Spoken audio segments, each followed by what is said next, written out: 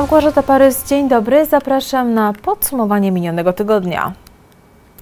Ta historia powinna stać się przestrogą dla wielu młodych i niecierpliwych kierowców.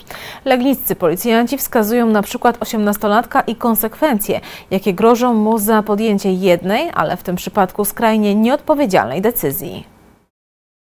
Kilka minut po północy policjanci z Legnickiej Drogówki zauważyli na ulicy Jaworzyńskiej kierowcę Toyoty, który jechał bez świateł mijania i postanowili go zatrzymać. Podczas kontroli 18-latka policjanci wyczuli od niego silną woń alkoholu, dlatego został poddany badaniu alkomatem, który wykazał u niego ponad promil alkoholu w wydychanym powietrzu. Szybko stało się jasne, że nieopierzony kierowca miał problem z podejmowaniem odpowiedzialnych decyzji. To nie był bowiem jego jedyny błąd. Po sprawdzeniu w policyjnych systemach informacyjnych okazało się, że 18-latek nie miał przy sobie prawa jazdy i nigdy tego prawa jazdy nie zrobił.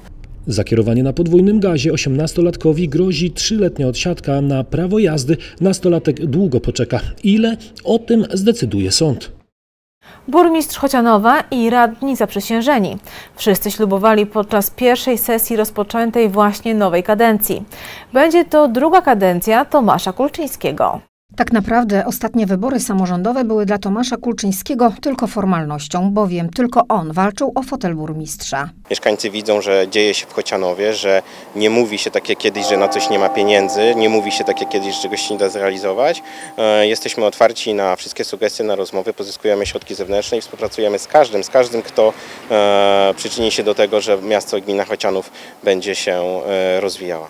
Podczas ubiegłej kadencji zrealizowaliśmy większość obietnic. Teraz będzie tak samo, zapewnia burmistrz Chocianowa i opowiada o zaplanowanych głównych inwestycjach. Na pewno mieszkańcy będą mogli liczyć na rewitalizację budynku dworca, na przeniesienie Regionalnego Centrum Kultury. To wiąże się z nowymi możliwościami naszej jednostki. To też nowa scena, e, to kwestia zorganizowania w starym obiekcie Regionalnego Centrum Kultury sali zabaw dla dzieci bilardu, sali kręgielni. E, to też kwestia rewitalizacji dróg, e, rewitalizacji Y, osiedla w Trzebnicach właśnie pod kątem drogowym, to też kwestia ulicy Fabrycznej, to też y, budowa y, Alei Starosty Adama Myrdy, czyli tak naprawdę naszej miejskiej obwodnicy łączącej osiedle Wesołą z ulicą Głogowską. Podczas pierwszej sesji ślubowali również radni obecnej kadencji. Obecna rada liczy 15 radnych. Większość to przedstawiciele Komitetu Wyborczego Wyborców Tomasz Kulczyński. Przewodniczącym rady został Ryszard Bartosz. Po raz pierwszy wybrano także także społecznego pełnomocnika do spraw mieszkańców, a została nim Katarzyna Kulczyńska.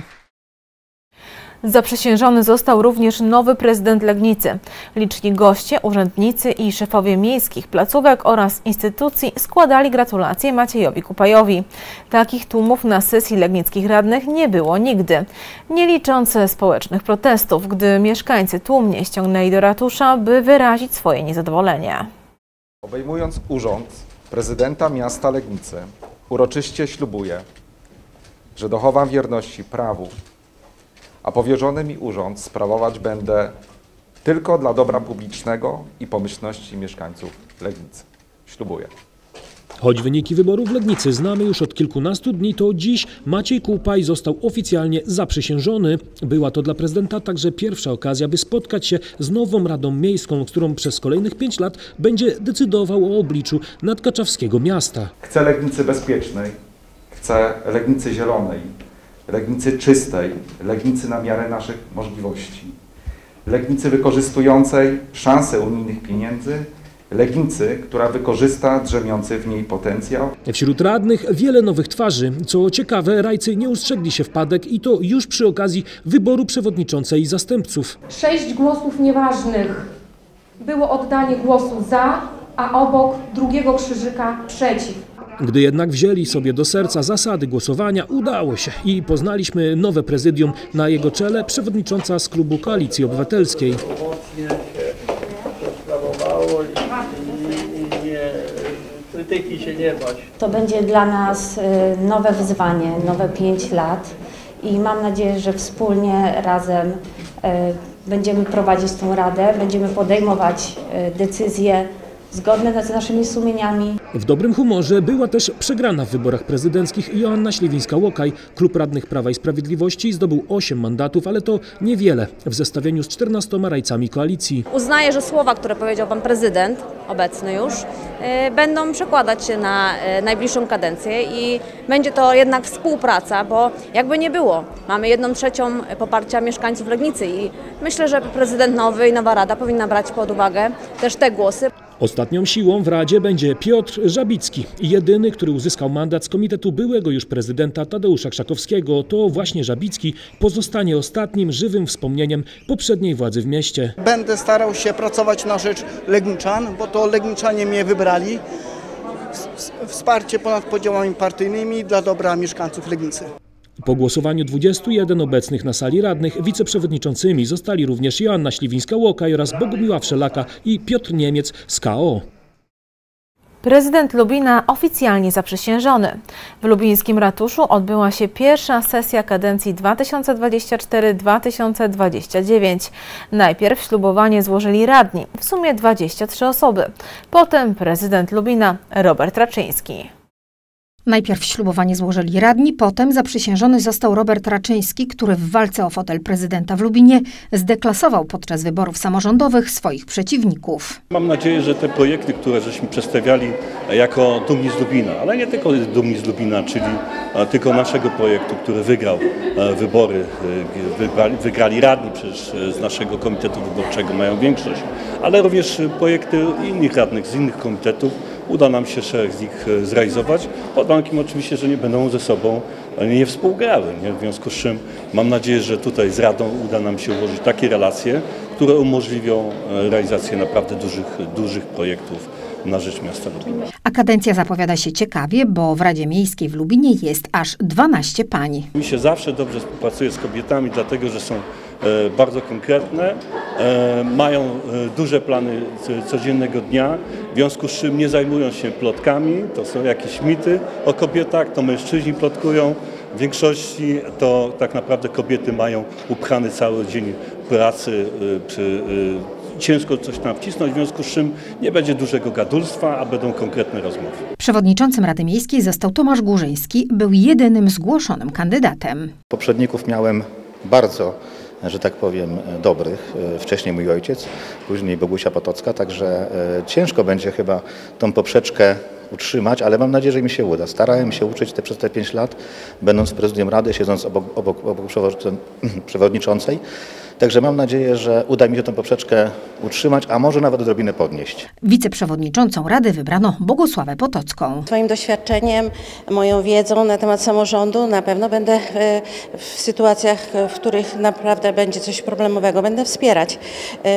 Mam nadzieję, że będzie ta współpraca się dobrze układać i będę mogła prawda, go wspomóc, bo to jego pierwsza kadencja jako przewodniczącego, ja byłam dwie kadencje, także na pewno, na pewno będę mu służyć pomocą. W prezydium zasiadła także Joanna Kot i Dariusz Jankowski z Dumnych z Lubina.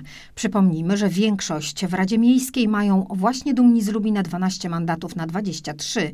7 osób jest z Obywatelskiego Lubina i 4 z Prawa i Sprawiedliwości. Paweł Kleszcz pozostał starostą lubińskim w nowej, rozpoczynającej się właśnie kadencji. Przewodniczącą Rady Powiatu Lubińskiego będzie nadal Jadwiga Musiał, która również głosami radnych pozostaje na stanowisku. To wyniki pierwszej sesji Rady Powiatu Lubińskiego.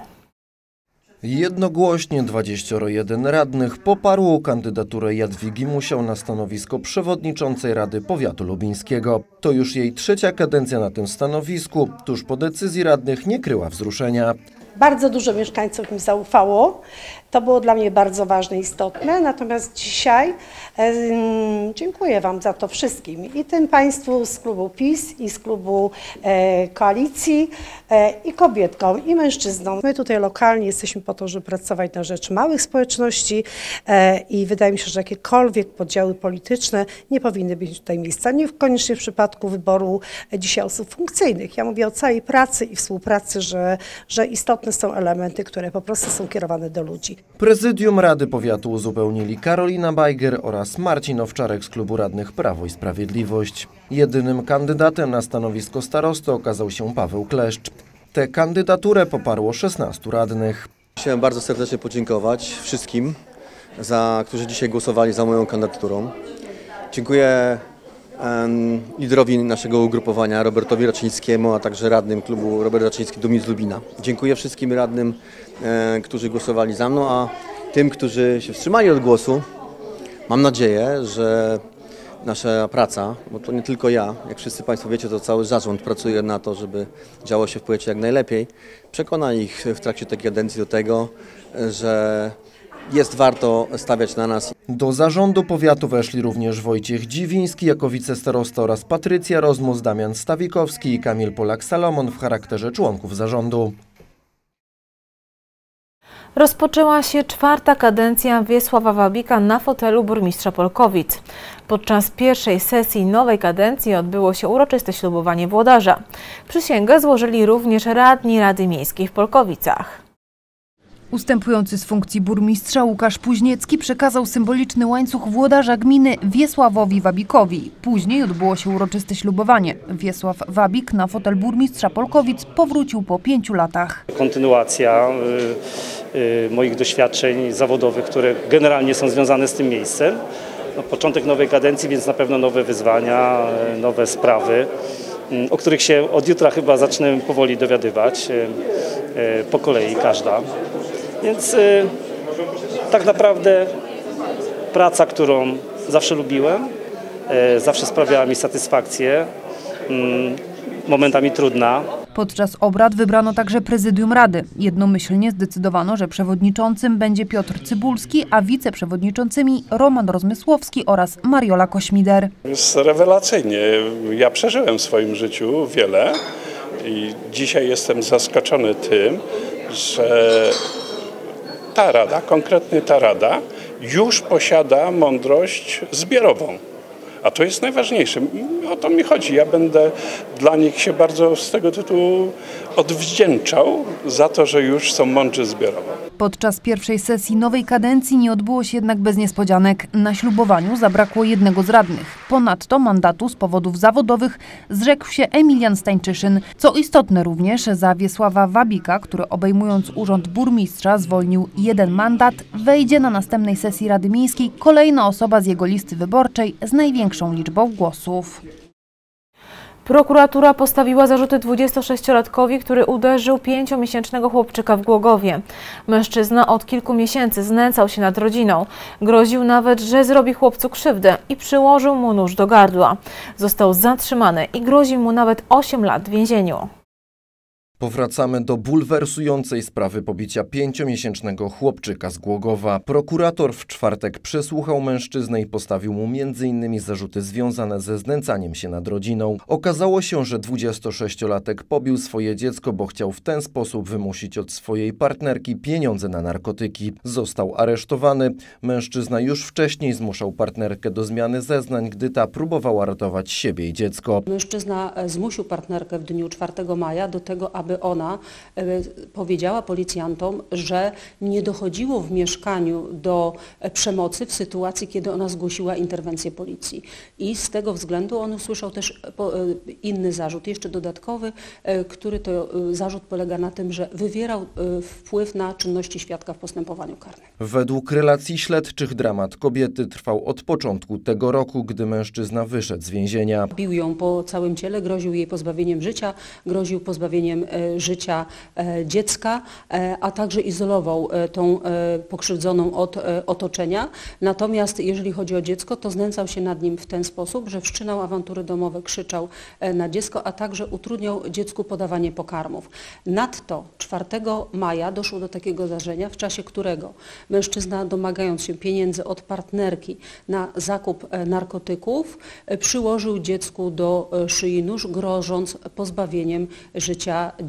W poniedziałek Maciejka uderzył dziecko w głowę, po czym uciekł, ale następnego dnia został zatrzymany przez organy ścigania. Szczegółowe badania i opinia biegłych wykazały, że chłopczyk nie odniósł poważnych obrażeń. 26-latek już trzykrotnie siedział za więziennymi kratami za przestępstwa związane z narkotykami i obecnie też toczy się wobec niego śledztwo w tej sprawie. Za znęcanie się nad swoją partnerką, a także nad swoim pięciomiesięcznym synkiem mężczyźnie grozi kara od pół roku do ośmiu lat pozbawienia wolności.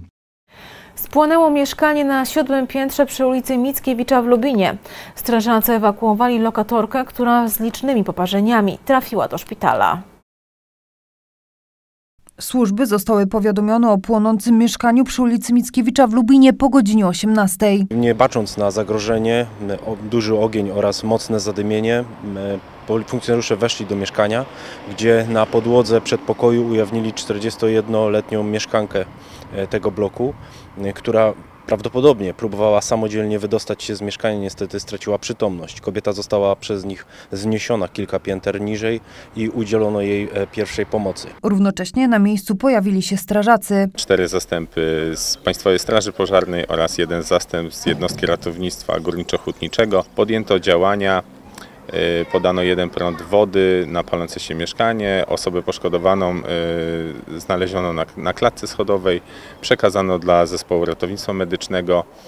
Y, przewietrzono klatki schodowe oraz przeprowadzono pomiary celem zweryfikowania substancji niebezpiecznych. Osoba poszkodowana z licznymi poparzeniami głowy i kończyn. Kobieta trafiła do szpitala w Nowej Soli. Jej życiu nie zagraża na szczęście niebezpieczeństwo. Część mieszkańców wieżowca została ewakuowana z mieszkań. Przyjechałam z działki i jak już tu już nie, mnie nie chcieli do windy wpuścić, a, ale mam zwierzaka w domu o, i mówię, że muszę, muszę, bo nie zostawię zwierzaka. No i wjechałam to na dziesiątym piętrze, było nic kompletnie nie widziałam. Nie wiedziałam jak sobie drzwi otworzyć, nie widziałam schodów, nic kompletnie. To tak zadymione było wszystko? Niesamowicie, ale to dziesiąte piętro. Policja zapukała do drzwi i kazała szybko opuszczać mieszkanie, bo się pali. No to zabraliśmy zwierzaki i wyszliśmy szybko na dwór. Mieszkanie spłonęło doszczętnie. Prawdopodobną wstępną przyczyną pożaru było zapruszenie ognia. Na miejscu pracował biegły z zakresu pożarnictwa. Pobili ją i zadławili niedopałkami papierosów, by później wynieść z mieszkania rozczłonkowane zwłoki w workach na śmieci. Legniccy śledczy ustalili szczegóły tej makabrycznej zbrodni. Do sądu trafił już akt oskarżenia przeciwko Łukaszowi C. i jego partnerce Małgorzacie N.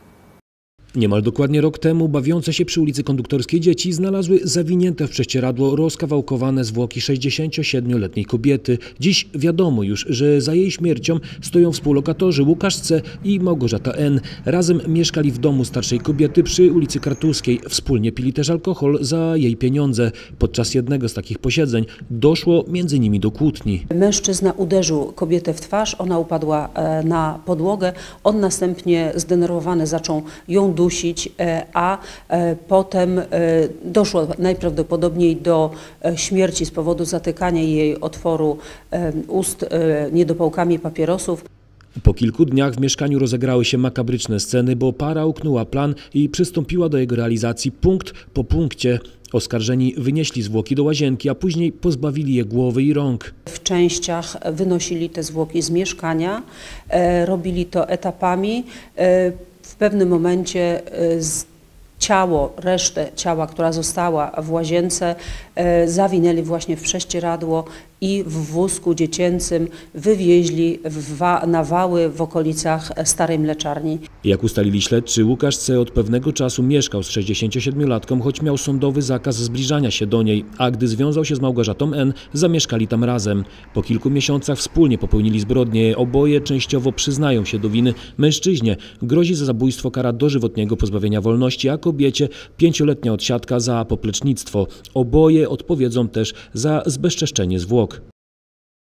Wielkie czerwone wozy z najnowocześniejszym sprzętem, a tuż obok konne bryczki, które trzeba napędzać siłą mięśni. Wszystko to i wiele innych atrakcji czekało na najmłodszych na polkowickim rynku. Odbyły się tam bowiem powiatowe obchody Dnia Strażaka. Na płycie polkowickiego rynku zaroiło się od samochodów strażackich. Nie była to jednak akcja, a piknik z okazji powiatowych obchodów Dnia Strażaka. Strażacy niezmiennie cieszą się największym zaufaniem społecznym. Cieszymy się bardzo, że jesteśmy tak postrzegani, stąd też y, próbujemy i wychodzimy naprzeciw y, tej naszej młodzieży. Chcemy zawsze ich zachęcić do tego, żeby przyszli na te nasze obchody Powiatowego Dnia Strażaka, żebyśmy mogli podzielić się y, i pokazać im ten sprzęt, który prezentujemy, który mamy i który cały czas jak gdyby unowocześniamy. Najwięcej frajdy przy tej okazji mieli oczywiście najmłodsi mieszkańcy miasta, którzy mogli z bliska zobaczyć wielkie czerwone wozy. Mi się podobają, tylko jestem ciekawy, ile takie cacko ma koni. Podoba mi się to, jak yy, strażacy usuwają gniazdo szerszeni, ostrzy, innych takich owadów. Mają bardzo, bardzo dużo sprzętów i, i w ogóle bardzo fajny silnik. Strażacy prezentują sprzęt ratowniczo-gaśniczy, który jest wykorzystywany do działań ratowniczo-gaśniczych. Ci najmniejsi mieszkańcy Polkowic mają okazję z zapoznaniem się, jak ten sprzęt wygląda, zobaczyć jak e, użytkowany jest ten sprzęt. Przez wiele lat zmienił się sprzęt, którym strażacy na co dzień wyjeżdżają do akcji. Dzieci mogły na miejscu zobaczyć, czym strażacy jeździli do pożarów kilkadziesiąt lat temu. To są dwa tłoczki, które poprzez y, ludzi wytwarza się ciśnienie na linię wężową. Dlatego taki sprzęt już, już przeszedł zapomnienie, prawda? Ale świetna, świetna jest tutaj zabawka, także można tutaj dzieciakom pokazać, jak to kiedyś było. Przy tej okazji strażacy odebrali też nagrody i awanse na wyższe stopnie. Kuski, które kilka dni temu straciły mamę, uratowane. Nadal są karmione specjalnym mlekiem, korzystają również z pokarmu mamy zastępczej. Maluchy są radosne i ruchliwe. Dwie kuski sandomierskie urodziły się dwa tygodnie temu. Choć początek ich życia był tragiczny, bo straciły mamę kilka dni po porodzie, pracownicy ogrodu zoologicznego w Lubinie robili wszystko, by uratować maluchy. Kozy na szczęście szybko rosną. W tej chwili są już dołączone do dwóch najmłodszych kus sandomierskich i jej mamy i też e, korzystają z mleka tej właśnie samicy. Kuski powoli również skubią trawę na wybiegu. Są wesołe, ruchliwe i przede wszystkim w dobrej formie. Noce były zdecydowanie ciężko, trzeba było wstać na trzecią nad ranem i przyjechać do nich. I one przede wszystkim no, nie chciały zbytnio pić tej butelki. Nie smakowało im, trzeba było je lekko na tyle podmuszać, ale no, przyzwyczaiły się i później kolejne dni, kolejne noce były zdecydowanie łatwiejsze. Po raz kolejny pracownicy zoo apelują do odwiedzających ogród o niedokarmianie zwierząt, które na co dzień otrzymują wystarczającą ilość pokarmu. Po tym jak otruta została mama kuzek, szefostwo ogrodu wprowadziło pewne ograniczenia. Jest y, łatwiej, odkąd są dołączone e, właśnie do tej e, kozy z młodymi. Nie mogliśmy zrobić tego od początku, ponieważ jeszcze koza wtedy nie urodziła. Czekaliśmy aż urodzi młode, aż minie kilka dni i wtedy bezpiecznie mogliśmy połączyć. W lubińskim ogrodzie zoologicznym na świat przyszły kolejne zwierzęta. Na wybiegu wspólnie z mamą pojawiła się malutka koza karpacka. Oczekiwane są również narodziny ostatniej z kus sandomierskich. I to wszystko w wydarzeniach tygodnia. Dziękuję Państwu za uwagę. Do widzenia.